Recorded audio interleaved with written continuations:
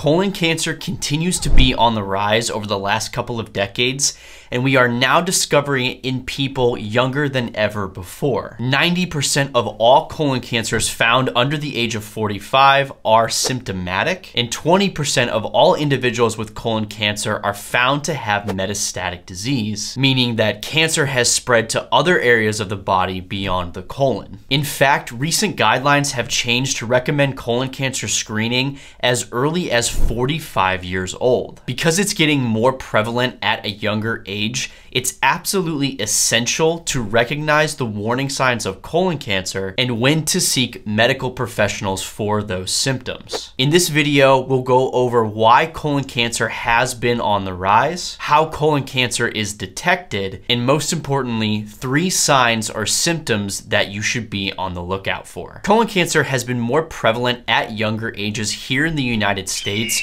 for a few different reasons. Honestly, they all have to do with what we call lifestyle factors. These are things like drinking alcohol, smoking cigarettes, but most importantly, it has to do with our diets. That's right, our diets and the things that we consume on a daily basis have skyrocketed the prevalence of colon cancer here in the United States. Three well-known risk factors for colon cancer are insulin resistance, type 2 diabetes, and obesity. These are all caused by eating excess processed foods that lead to an abundance of sugar and insulin levels in the body. This excess sugar provides the structure for the cancer cells to continue to divide and multiply, which ultimately leads to increased tumor growth. Processed meats such as hot dogs, bacon, and pepperoni, as well as many others, have been shown to increase the risk of getting colon cancer. In fact, approximately 50 grams of processed meat, which is around one hot dog,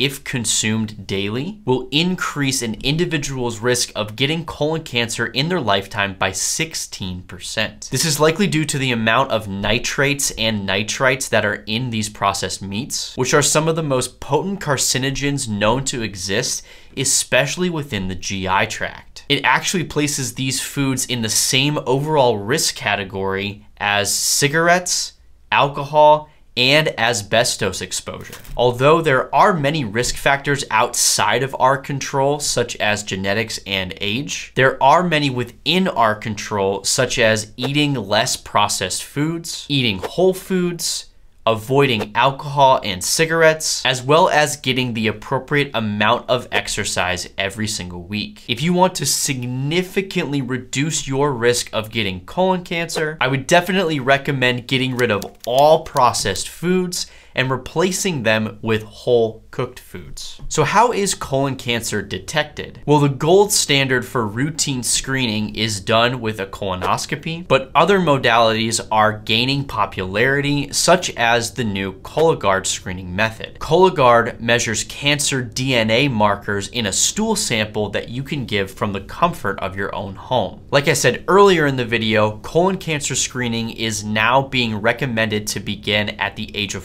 45 and possibly even sooner sooner if you have a strong family history of colon cancer or certain medical conditions. I will definitely go into more detail about colon cancer screening in a future video. So what are the symptoms of colon cancer and those three warning signs that you absolutely have to be aware of? The first sign that we're talking about is a change in bowel habits.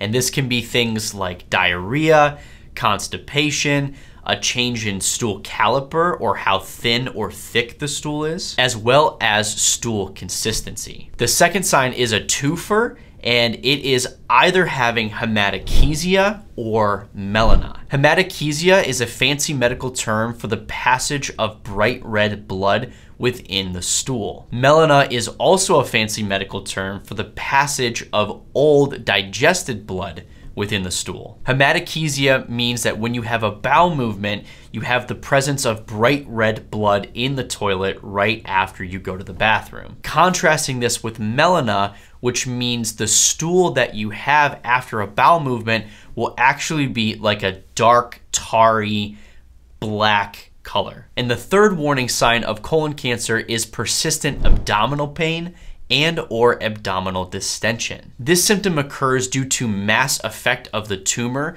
meaning that the tumor has grown to such a size that it's pushing on the contents of the intestines. Again, if you're having consistent abdominal pain or consistent abdominal bloating or distension for a period of weeks, this is something that can absolutely not be underestimated. Overall, I would say if you're having at least two out of the three symptoms that we just talked about for a prolonged period of time, let's say weeks to months, it's definitely crucial that you get to a local healthcare professional as soon as possible. Thank you so much for sticking with me through to the end of this video. If you're looking for a specific topic that I haven't covered yet, please leave a comment down below. As always, I will see you all on the next one.